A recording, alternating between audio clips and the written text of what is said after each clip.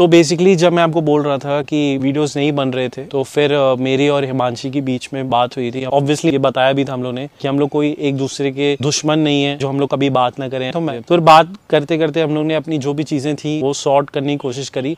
But हाँ हम लोग ने किसी को ये चीज़ पहले बताई नहीं क्योंकि हम लोग चाहते थे कि ये चीज़ दोबारा फिर से ऐसी ना हो क्योंकि ये दोबारा अच्छा नहीं होता ना कि बार बार आप आओ फिर अकेले हो जाओ तो ये कोई मज़ाक तो चल नहीं रहा है। और ये सारी चीज़ें बहुत सीरियस हैं और ये सुनने में मैं मे बी बहुत इजीली बोल दे रहा हूँ बट ये बहुत सारी चीज़ें क्रिटिकल होती हैं। दोनों फैमिलीज़ में बहुत प्रॉब्लम्स हुई और बहुत चीज़ें हुई, बहुत ब्रेक डाउन हुए हेलो फ्रेंड्स सभी का बहुत बहुत स्वागत है हमारे यूट्यूब चैनल खुशहाल ज़िंदगी में।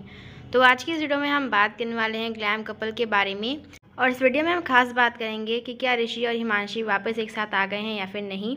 और साथ ही साथ मैं आपके लिए कुछ कमेंट्स भी रीड करूँगी जो कि इनके सब्सक्राइबर्स ने लिखे हैं।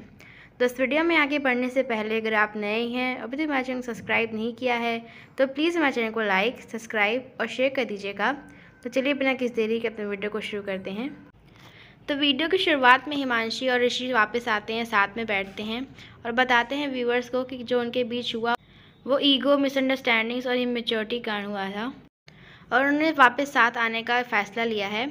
और साथ साथ ये बताते हैं कि हमारे बीच जो हुआ, उसके कारण हमारी फैमिली को और हमारे रिलेटिव्स के बीच में बहुत ज़्यादा बातें हुई थी और ये कोई प्रैंक नहीं था जो उन्होंने आप साथ किया। तो लोगों को, कुछ लोगों को लगता था कि ये प्रैंक है, लेकिन ऐसा कोई प्रैंक नहीं है।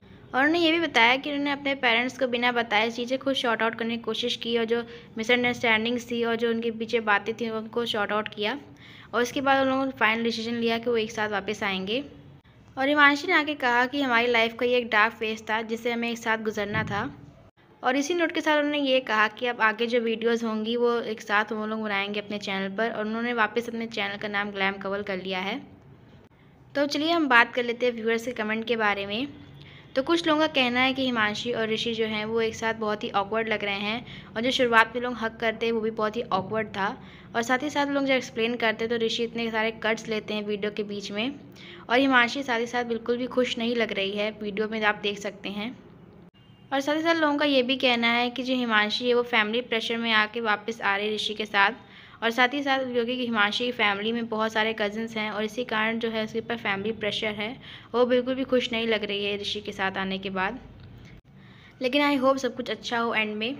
तो आज के बस इतना ही। वीडियो पसंद आई हो तो प्लीज़ हमारे चैनल को लाइक सब्सक्राइब और शेयर करिएगा और अपनी राय कमेंट सेक्शन में ज़रूर बताइएगा। तो मिलते हैं आज से अपनी अगली वीडियो में। तब तक के नमस्कार और अपना ध्यान रखें।